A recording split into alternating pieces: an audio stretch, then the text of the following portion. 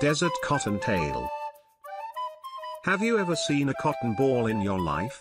If yes, then make a picture in your mind, think of a grey, brown rabbit having yellowish legs with inner white and long-standing ears. Now, attach a cotton ball at its back this is exactly how a desert cottontail looks like. Desert cottontail is member of family Leporidae and has scientific name Sylvilagus audubonii and is their scientific name.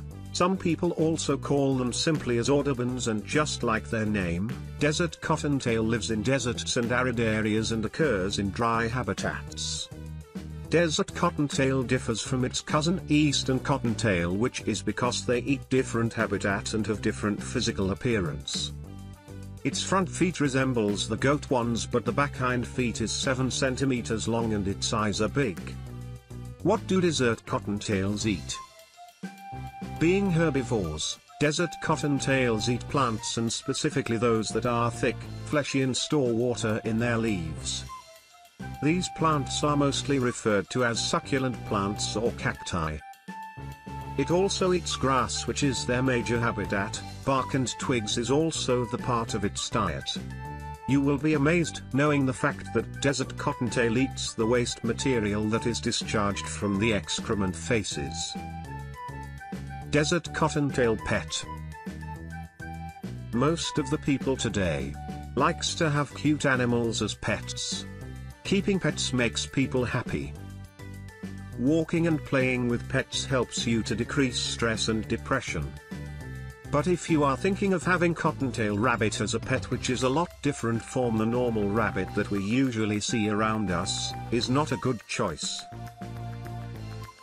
They are not supposed to keep as pets and genuinely speaking. They don't make good pets at all. It's difficult to handle them and they are resistant towards environment changes. Desert cottontail lifespan. Mostly mammals don't get to live as long as humans do, but they fight each and every day of their life to feed their young ones. However, the average lifespan of rabbits is no longer than 7 years and desert cottontail lives on average about 2 years. Desert cottontail range, Desert cottontails are found in dryland, arid areas, wood and grasslands. Their range is from eastern Montana to west Texas and into northern and central Mexico. Desert cottontails likes to live in bushy areas where their presence is not easily detected by predators. Desert cottontail baby, Desert cottontail when become 80 days old start to breed. The gestation period of desert cottontails lasts 26 days and in extreme cases 30 days. After giving birth, female cottontail is again ready to mate. 2 to 6 baby desert cottontails are born per mating. Baby desert cottontails are unable to see for about 2 weeks since they are born.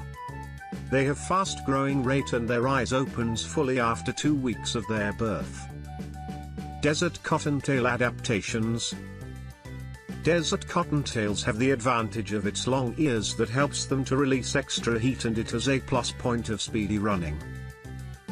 When it finds that it is in danger it runs at a speed of 30 km per hour. Is the desert cottontail endangered? While thousands of animals are hunted mostly by predators and often by biologists for the scientific techniques,